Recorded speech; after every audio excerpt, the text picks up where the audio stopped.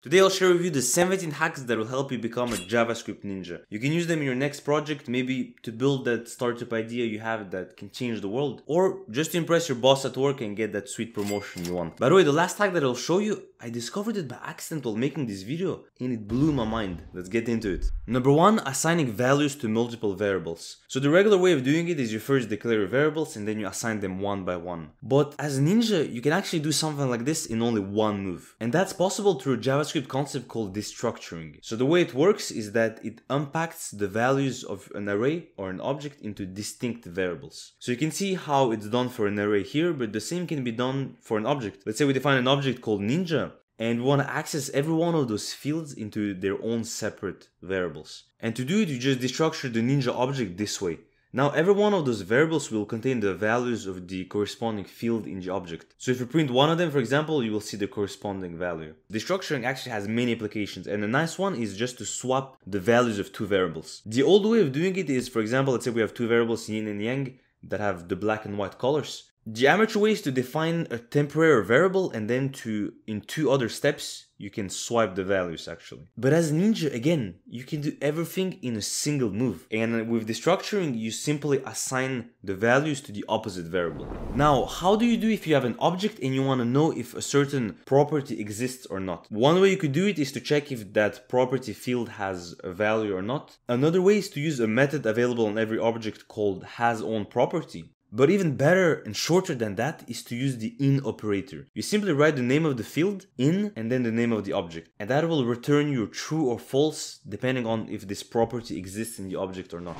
Now I'll take our ninja object again and I want to add a weapon object. What I would like to have is a new object that has the fields of both of those, both the ninja and the weapon. And that's very easy to do using the next hack called the spread syntax. The spread syntax allows you to expand objects and arrays. So for example, the way it's done here is that the ninja and weapon fields will both be expanded and wrapped into this new object that will have all of the fields combined. And the same can be done with an array. So if we start with an array of three elements and we want to add it into a bigger array, array 2, we spread it there and the resulting array will have five elements inside of it. And what's nice with spreading is that you can combine it with other hacks, for example, destructuring. So if we take our ninja and we want to destructure it to get all of the variables, maybe we don't need all of them. Maybe we only need the name and the age and we don't care about the rest. That's where the spread syntax is convenient because you can store all of them into one sub-object essentially. Power will now contain all of the properties that are not the name and the age. Another cool use case of the spread operator is using it with functions. So let's say we have a function that prints the fields of the weapon object. Instead of writing those arguments one by one, we could simply spread the weapon object and it will result in the same thing at the end. Arrays are a very powerful data structure in JavaScript and you have a lot of functions available for you. But one hack that few people know is that you can actually control the size of your array by assigning a value to the length property. So for example, we start with an array of five elements and I want to trim it down to only the first three. So I assign the length to be a value of three. And if I want to completely empty it, I assign it a value of zero. Now let's say we want to get the last element of an array. One way to do it would be to calculate the length of the array and from that you can extract the index of the last element. But even simpler than that, we can use the slice function but with a negative index. If we use minus 1, this actually gives us the last value of the array. But it doesn't stop there. You can actually also get the last two elements if you assign a value of minus 2 and more if you assign a lower value because what slice does with negative values is that it starts the index from the end of the array and then it goes to the beginning. Sometimes you will encounter arrays that have duplicate values and you might want to get a new array that has only unique values. That's possible using two hacks. One is using sets, which is a data structure that can only have unique values, and then use the spread syntax that we just saw a minute ago. That allows you to have a new array that has only unique values of cryptos. Arrays have a lot of functions available that you can pick map, filter, for each, and more. But one that, in my opinion, is very underrated is the reduce function. The reduce function allows you to take an array and then to turn it into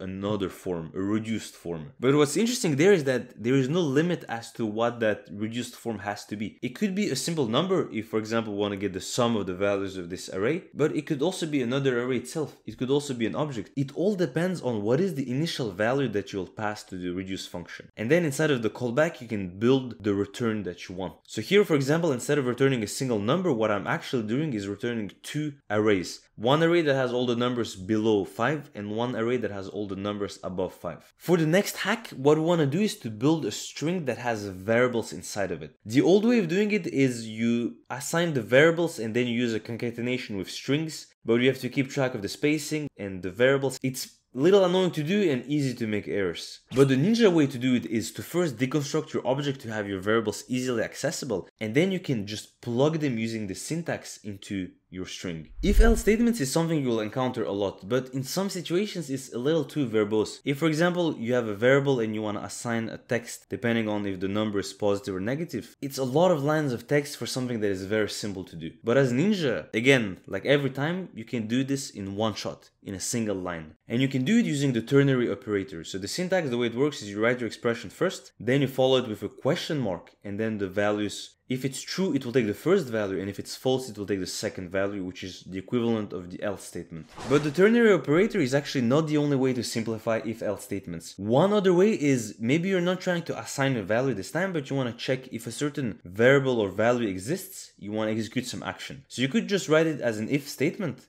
or better, you can use the AND operator. So if the first expression evaluates as true or as existing, then you can execute the follow-up code on the right side of the AND operator. Another example is if you want to assign a default value. So sometimes you don't know if a certain variable exists. It could be a field in an object that you're not sure if it exists or not. So you check if it does exist, then you assign it. Otherwise, you assign a default value. But there is a one-line alternative to this using the OR operator. So if the bank status exists, then it will assign it to a variable variable, but if it doesn't, then it assigns the default value using that OR operator. Next hack is about logs, and everyone knows how logs work, right? Right? Yeah, for sure. That's the first thing you probably learned when you were learning JavaScript is how to print hello world in the console. But do you know that actually the log function is not the only function available in the console? If you want to print an error, you can use console.error and it will show the error in red if you want to print a table or an object, you can use console.table and it will display a nice table. If you want to group logs because they become hard to read or you have too many of them, you can use console.group and you can mark it with a label. If you want to print some information, you can use console.info. Ultimately, all of this comes down to the same, you're just trying to print something in the console, but it does make it nicer and easier to read if you format it correctly. This next hack here is so elegant. Sometimes it does happen that you have numbers that are stored as variables in your code for whatever reason, maybe it comes from the API, maybe you scrap that data from somewhere, and you need to parse it to turn it into a number. So you can use parseInt, you can use number, but one cute, elegant little hack you can use is simply put a plus in front of the variable, and that will automatically turn the string into a number. What could also happen to you is encountering objects that have only one field that is differing. And that's pretty annoying to deal with. So what you can do is to make that property actually a dynamic key. So I can just create a function that generates this object using that dynamic key and I can just call it and you will see how it's generating an object that has the key that has been replaced by that string I just passed to. Now we're getting to the most interesting hack of this video, the one that surprised me the most honestly, and it's called the design mode. When you go to the console and you type document.designMode on, you can start changing things in your page directly. So for example, we're on my YouTube page here and I want to add myself just a few subscribers, like we're gonna turn from 1000 to 1 million.